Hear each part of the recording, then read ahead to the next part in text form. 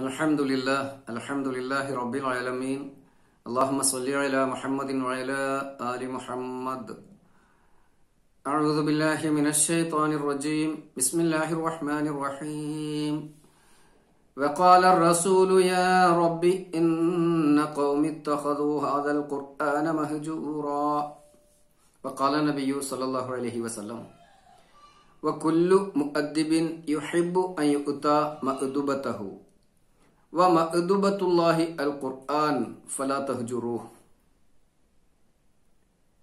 ഖുർആൻ പഠനവുമായി ബന്ധപ്പെട്ട് സൂറത്തുൽ ഫുർഖാനിലെ മുപ്പതാമത്തെ സൂക്തവും നബി സല്ലാഹു അലൈഹി വസ്ലം അതുമായി ബന്ധപ്പെട്ട് പറഞ്ഞ ഒരു ഹദീസുമാണ് ഞാൻ നിങ്ങളുടെ ശ്രദ്ധയിൽപ്പെടുത്തിയത്.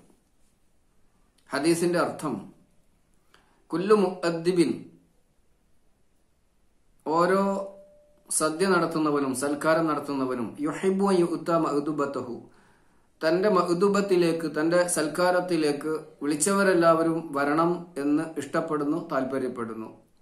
വ മഅ്ദുബത്തുല്ലാഹി അൽ ഖുർആൻ. അള്ളാഹുവിന്റെ സദ്യ എന്ന് പറഞ്ഞിരിക്കുന്നത് അവന്റെ ഖുർആനാണ്. ഫലാ തഹ്ജുറുഹു അതുകൊണ്ട് നിങ്ങൾ അത് ഉപേക്ഷിക്കരുത്. നിങ്ങൾ അതിനെ വെടിയരുത്. സൽക്കാരമെന്നും സദ്യ എന്നുമൊക്കെ പറയുമ്പോൾ നമ്മുടെ മനുഷ്യരുടെ സാധാരണഗതിയിൽ നമ്മൾ നടത്തുന്ന സൽക്കാരങ്ങളും സദ്യകളും ആലോചിച്ചു നോക്കണം. അതിൽ എന്തൊക്കെ തരത്തിലുള്ള വിഭവങ്ങളാണ് നമുക്ക് ലഭ്യമാവുക? വ്യത്യസ്ത രുചികളിലുള്ള വ്യത്യസ്ത ഗുണങ്ങളിലുള്ള വ്യത്യസ്ത തരത്തിലുള്ള വിഭവങ്ങളാണ് നമ്മളൊരു പാർട്ടിക്ക് ഒരു സദ്യക്ക് ഒരുക്കാറുള്ളത്. അതിൽ എരിവുള്ള എരിവുള്ളതുണ്ടാകും പുളിയുള്ളതുണ്ടാകും ചവർപ്പുള്ളതുണ്ടാകും കയ്പുള്ളതുണ്ടാകും.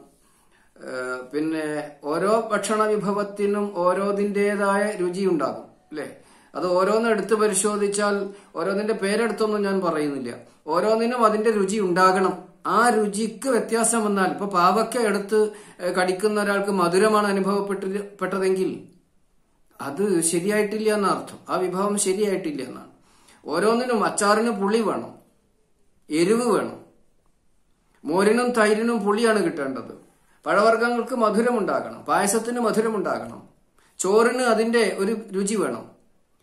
അപ്പോൾ ഇതെല്ലാം ഈ വ്യത്യസ്തതകളാണ് ആ സദ്യയെ പൂർണമാക്കുന്നതും ഏറ്റവും നല്ലതാക്കുന്നതും. അപ്പൊ ഇത് എല്ലാം ഒരേ രുചിയിലുള്ള ഒരുപാട് വിഭവങ്ങൾ ഉണ്ടാക്കി വെച്ചാലോ? അതൊരാസ്വാദ്യത അതിന് ഉണ്ടാവുകയില്ല എന്നുള്ളത് ആരും നമുക്ക് പറഞ്ഞു തരേണ്ടതില്ല. അള്ളാഹു സുബാനഹുവത്തായ നമ്മളോട് പറഞ്ഞിരിക്കുന്നത് അള്ളാഹുവിന്റെ വിഭവം അള്ളാഹുവിന്റെ സദ്യ എന്ന് പറയുന്നത് ഖുർആനാണ്. അതിനെ നിങ്ങൾ വെടിയരുത് അഥവാ സ്വീകരിക്കണം. അപ്പൊ സ്വാഭാവികമായും ഇതിൽ നമ്മളെ ആസ്വദിപ്പിക്കുന്ന നമ്മൾ അനുഭവിപ്പിക്കുന്ന വ്യത്യസ്തങ്ങളായ രുചിഭേദങ്ങൾ ഉണ്ടാകും അതുകൊണ്ടാണ് ഖുർആൻ വായിക്കുമ്പോൾ ചിലപ്പോ കരയുന്നതും ചിലപ്പോ പുഞ്ചിരിക്കുന്നതും ചിലപ്പോ ചി- ഏഹ് ചി- ചിന്തിക്കുന്നതും ചിലപ്പോ സങ്കടപ്പെടുന്നതും ചിലപ്പോ കർമ്മോത്സുകരാകുന്നത്. ചിലപ്പോ ഒരുപാട് സമയം ചിന്തിച്ചിരിക്കാൻ പ്രേരിപ്പിക്കുന്നത് സുജൂത് ചെയ്യുന്നത് അത്ഭുതപ്പെടുത്തുന്നത്. ഇങ്ങനെ നമ്മളെ പ്രേരിപ്പിച്ചുകൊണ്ടേയിരിക്കും ഖുർആൻ. നമ്മളോട് ഖുർആനിനെ പ്രേരിപ്പി പ്രചരിപ്പിക്കാൻ കർമ്മോത്സുകരാക്കാൻ ഉന്മേഷമുള്ളവരാക്കാൻ ആവേശമുള്ളവരാക്കാൻ നമസ്കരിപ്പിക്കാൻ തിന്മകളിൽ നിന്ന് വിട്ടുനിൽക്കാൻ നന്മകളിലേക്ക് പ്രചോദനം നൽകാൻ. ഇങ്ങനെ വ്യത്യസ്തങ്ങളായ വിധത്തിൽ നമ്മളെ ഖുർആൻ ആസ്വദിപ്പിച്ചുകൊണ്ടിരിക്കും കൊതിപ്പിച്ചുകൊണ്ടിരിക്കും. അതിന് നമ്മൾ ഖുർആാനിനെ ഉപേക്ഷിക്കാൻ പാടില്ല. ചില ഖുർആൻ സൂക്തങ്ങൾ നമ്മളെ തിരുത്തുന്നതിന് പ്രേരിപ്പിക്കും. ചില ഖുർആൻ സൂക്തങ്ങൾ നമ്മളെ ഉൾക്കൊള്ളുന്നതിന് സ്വീകരിക്കുന്നതിന് പ്രേരിപ്പിക്കും. ചിലത് നമ്മളെ സങ്കടപ്പെടുത്തും. ചിലപ്പോൾ നമ്മൾ അള്ളാഹുവിനോട് നിരന്തരമായി പ്രാർത്ഥിച്ചു കൊണ്ടിരിക്കും ചിലപ്പോൾ നമ്മൾ അള്ളാഹുവിനോട് അള്ളാഹുവിന്റെ മഹത്വത്തെ വാഴ്ത്തും. ഇങ്ങനെ വ്യത്യസ്തങ്ങളായ അനുഭവങ്ങൾ ഖുർആൻ സൂക്തങ്ങളിലൂടെ കടന്നു പോകുമ്പോൾ നമ്മൾ നമ്മൾ നമ്മൾ കാണുന്നു നമ്മൾ അനുഭവിക്കുന്നു. ഇതാണ് ഖുർആനെ ആസ്വദിക്കുക ഖുർആനെ സ്വീകരിക്കുക എന്ന് പറഞ്ഞാൽ.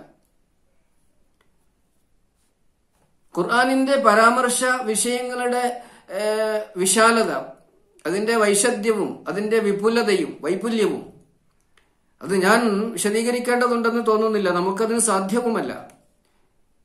ഒരു മനുഷ്യനെ സംബന്ധിച്ച് എടുത്തു നോക്കിയാൽ അവന്റെ ഇല്ലായ്മയിൽ നിന്ന് അവൻ ഇല്ലായ്മയിൽ നിന്ന് ഉണ്മയിലേക്ക് വന്ന ഉള്ളതിലേക്ക് വന്ന ഉള്ളായ്മയിലേക്ക് വന്ന എന്ന് നാടൻ ഭാഷയിൽ പറയും.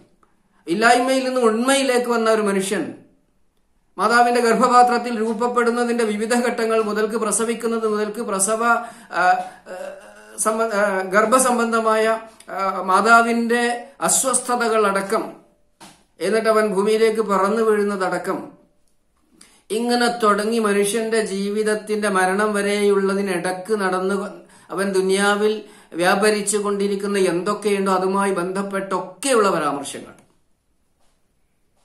അവന്റെ ശൈശവം അവന്റെ ബാല്യം അവന്റെ കൗമാരം അവന്റെ യൗവനം അവന്റെ വാർദ്ധക്യം അവന്റെ മരണം മരണാസന്നനായവൻ മരണം മരണാനന്തരം.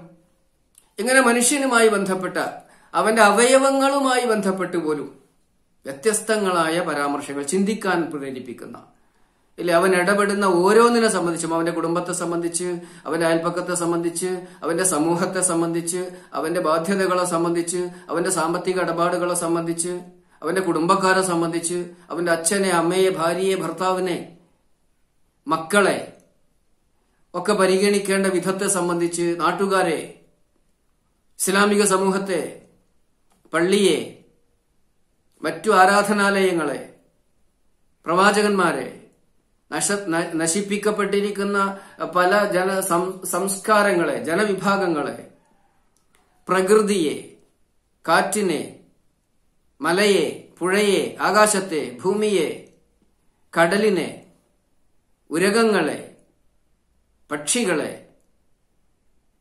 മനുഷ്യന് ഉപയോഗപ്പെടുത്തിക്കൊണ്ടിരിക്കുന്ന മൃഗങ്ങളെ കപ്പലുകളെ വാഹനങ്ങളെ മൃഗങ്ങളിലൂടെ ലഭിച്ചുകൊണ്ടിരിക്കുന്ന മനുഷ്യന് കിട്ടിക്കൊണ്ടിരിക്കുന്ന സൗകര്യങ്ങളെ ഇങ്ങനെ എടുത്തു നോക്കിയാൽ കാറ്റ് മഴ ഇടി മിന്നൽ വെള്ളം ഇങ്ങനെ പ്രകൃതിയിലുള്ള ഓരോ വസ്തുക്കളെയും മനുഷ്യനുമായി ബന്ധപ്പെട്ട ഓരോ കാര്യത്തെയും എടുത്ത് വിശദീകരിച്ച് ഖുർആൻ പരാമർശിക്കുമ്പോൾ ഇതിലൂടെ ഒന്ന് കടന്നു പോകുമ്പോൾ നമുക്ക് എന്തൊരു ആസ്വാദ്യതയാണ് എന്തൊരു അനുഭൂതിയാണ് എന്തൊരു രുചിഭേദമാണ് നമ്മൾ അനുഭവിക്കുക. ഇതൊക്കെ കാണുമ്പോഴാണ് ചിലപ്പോൾ നമ്മൾ ചിന്തിക്കുമെന്ന് പറയുന്നത് ചിലപ്പോൾ നമ്മൾ സങ്കടപ്പെടുമെന്ന് പറയുന്നത് ചിലപ്പോൾ നമ്മൾ പ്രാർത്ഥിക്കുമെന്ന് പറയുന്നത്. ചിലപ്പോൾ നമ്മൾ കരയുമെന്ന് പറയുന്നത് ചിലപ്പോൾ നമ്മൾ സുജൂത് ചെയ്യുമെന്ന് പറയുന്നത് ചിലപ്പോൾ നമ്മൾ വാക്കിനാൽ നമ്മുടെ വികാരം പ്രകടിപ്പിക്കുമെന്ന് പറയുന്നത്. ചിലപ്പോൾ പടച്ച തമ്പുരാന്റെ പരാമർശത്തിനോട് അനുബന്ധമായി തത്തുല്യമായ ബലായ റബ്ബി.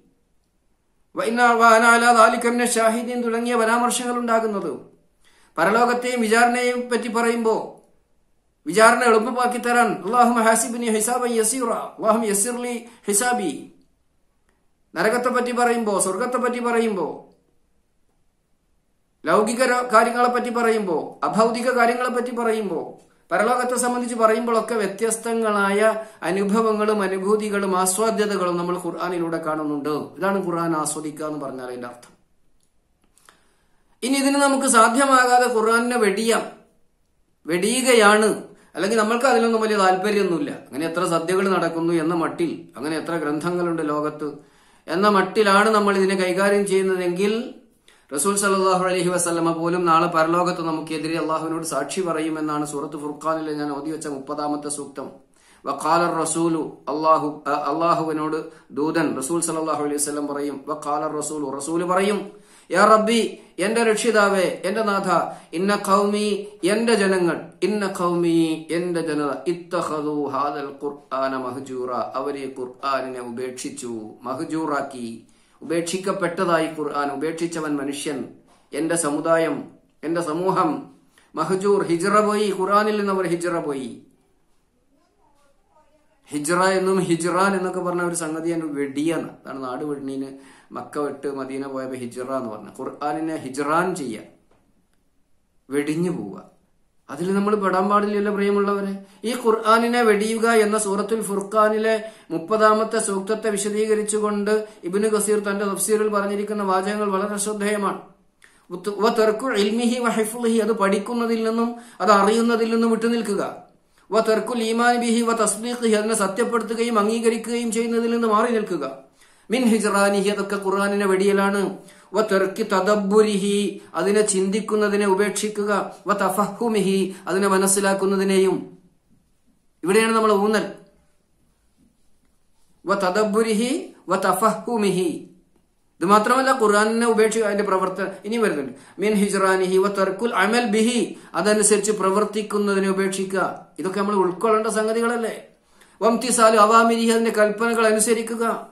വജിത്തിനാബി ജവാജിരിഹി അതിന്റെ കൽപ്പനകൾ അനുസരിക്കുന്നതിൽ വീഴ്ച വരുത്തുക എന്നുള്ളതും അതിന് വെടിയലാണ്. തർക്കുൽ അമലി അതനുസരിച്ച് പ്രവർത്തിക്കുന്നതിനെ ഉപേക്ഷിക്കലും ഖുർആാനിന്റെ വഴിയിലാണ് വജിത്തിനാബി സവാജിരിഹി ഖുർആൻ വിരോധിച്ചിട്ടുള്ളതിൽ നിന്ന് വിട്ടു നിൽക്കാതിരിക്കൽ അതും ഖുർആാനിനെ ഉപേക്ഷിക്കലാണ്. ഖുർആൻ വെടിയാൻ പറഞ്ഞതിനെ വെടിയണം.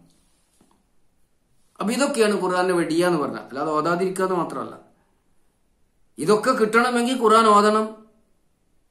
ഖുർആൻ ഓതിയാൽ മാത്രം മതിയാവില്ല. ഓതുന്നത് എന്താണെന്ന് ഗ്രഹിക്കുകയും വേണം. അപ്പോഴേ നമുക്കത് അംഗീകരിക്കാൻ നമുക്കത് അനുസരിക്കാൻ എന്തൊക്കെയാണ് അള്ളാഹുത്താല നമ്മളോട് പറഞ്ഞിരിക്കുന്നത്? എന്തൊക്കെയാണ് ഉൾക്കൊള്ളേണ്ടത്? എന്തൊക്കെയാണ് ഞാൻ ചിന്തിക്കേണ്ടത്? എന്തൊക്കെയാണ് ഞാൻ വെടിയേണ്ടത്? എന്തൊക്കെയാണ് സ്വീകരിക്കേണ്ടത്? നമുക്ക് മനസ്സിലാക്കാൻ പറ്റും.